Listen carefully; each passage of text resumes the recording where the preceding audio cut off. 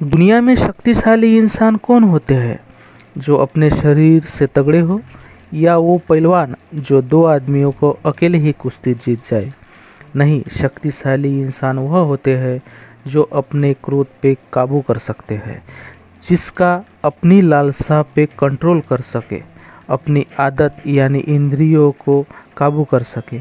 नहीं तो कोई भी बुद्धिमान आदमी क्षण भर में किसी को क्रोध में डाल के, उसे संकट में डालकर अपना हेतु पूरा कर सकता है। इसलिए शक्तिशाली इंसान वही होता है, जिसे अपने क्रोध पर काबू होता है। इसी क्रोध पर आज हम एक पॉपुलर कहानी सुनेंगे, सम्राट सिकंदर और साधु जी की।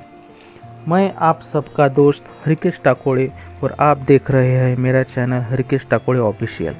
इस चैनल पे ऐसी ढेरों सारी अच्छी कहानियाँ आती रहती है। इसलिए आप आज मेरे चैनल पे पहली बार आए हैं तो ऐसे ही ढेरों कहानियाँ सुनने के लिए चैनल को प्लीज़ सब्सक्राइब कीजिए। अगर आपको यह वीडियो अच्छी लगे तो प्लीज़ वीडियो को लाइक और शेयर कीजिए। चलो कहानी शुरू करते हैं।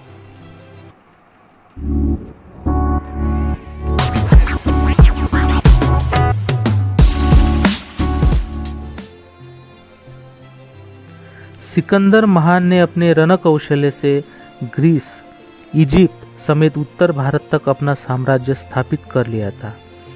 सालों से युद्ध करती सिकंदर की सेना बहुत थक चुकी थी और अब वो अपने परिवारों के पास वापस लौटना चाहती थी। सिकंदर को भी अपने सैनिकों की इच्छा का सम्मान करना पड़ा और उसने भी भारत से लौटने का मन बना लिया। पर जाने से पहले वो किसी न्यानी व्यक्ति को अपने साथ ले जाना चाहता था। स्थानीय लोगों से पूछने पर उसे एक पहुँचे हुए बाबा के बारे में पता चला, जो कुछ दूरी पर स्थित एक नगर में रहते थे। सिकंदर दल बल के साथ वहाँ पहुँचा। बाबा निवस्त्र एक पेड़ के नीचे ध्यान लगाकर बैठे थे। सिकंदर उनके ध्यान से बाहर आने का इंतज़ार करने लगा। कुछ देर बाद बाबा ध्यान से बाहर निकले और उनके आँखें खोलते ही सैनिक सिकंदर महान सिकंदर महान के नारे लगाने लगे। बाबा अपने स्थान पर बैठे उन्हें ऐसा करते देख मुस्करा रहे थे। सिकंदर उनके सामने आया और बोला, मैं आपको अपने देश ले जाना चाहता हूँ। चलिए हमारे साथ चलने के लिए तैयार हो जाइए।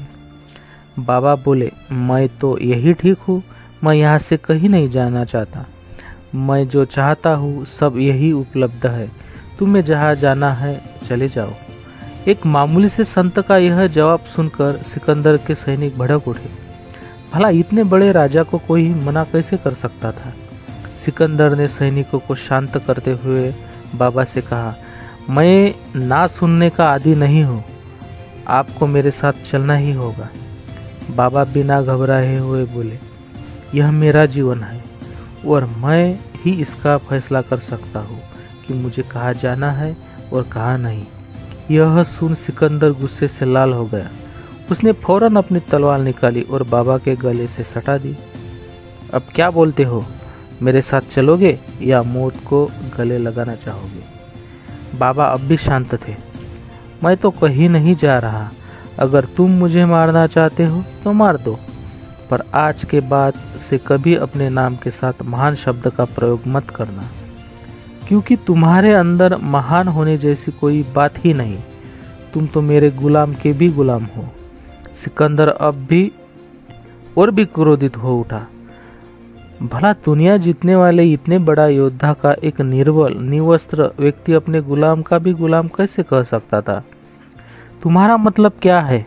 सिकंदर क्रोधित हुए हुए बोला। बाबा बोले, क्रोध मेरा गुलाम है। मैं जब तक नहीं चाहता, मुझे क्रोध नहीं आता। लेकिन तुम अपने क्रोध के गुलाम हो।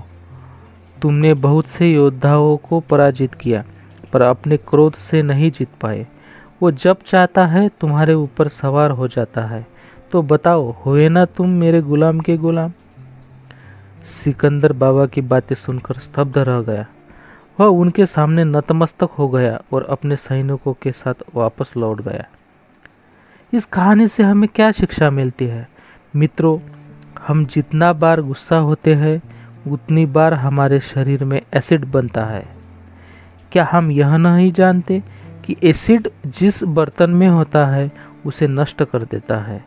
सच ही तो है, गुस्से का सबसे बड़ा शिकार खुद गुस्सा करने वाला ही होता है। आइए ऐसी प्रेरणास्पद कहानियों से सीख लेते हुए हम अपने गुस्से को काबू में करने का प्रयास करें और ऐसी ही एक कहानी सुनने एवं पढ़ने के लिए इस चैनल को प्लीज़ सब्सक्राइब कीजिए और हमारे समूह में सम्मिलित हो जाए।